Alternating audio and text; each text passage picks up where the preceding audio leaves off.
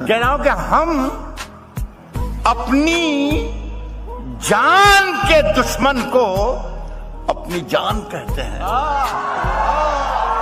हम अपनी जान के दुश्मन को अपनी जान कहते हैं।